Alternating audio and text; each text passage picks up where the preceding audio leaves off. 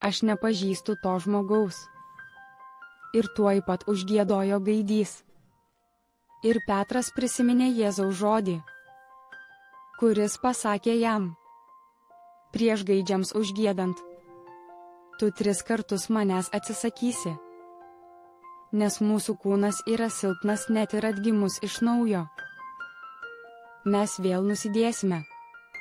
Žinoma, mes neturėtume nusidėti, bet kai susidurėme su sunkia krize, kaip Petras, esame linkę nusidėti, nors iš tikrųjų to neketiname daryti.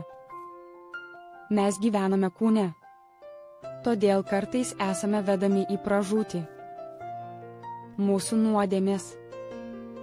Kūnas nusidės tol, kol gyvensime sekuliariame pasaulyje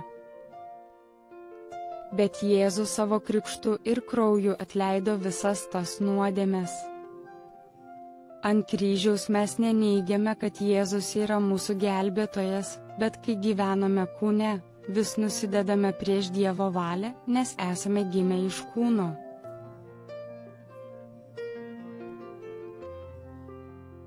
Jėzus gerai žinojo, kad gyvendami kūne darysime nuodėmes.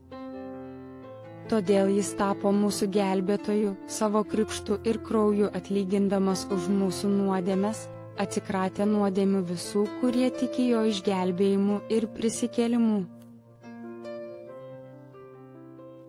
Štai kodėl visos keturios Evangelijos prasideda nuo Jono Krikštitojo Jėzaus Krikšto jo žmogiškojo gyvenimo tikslas buvo įvykdyti gimimo iš naujo Evangeliją, išganimo Evangeliją.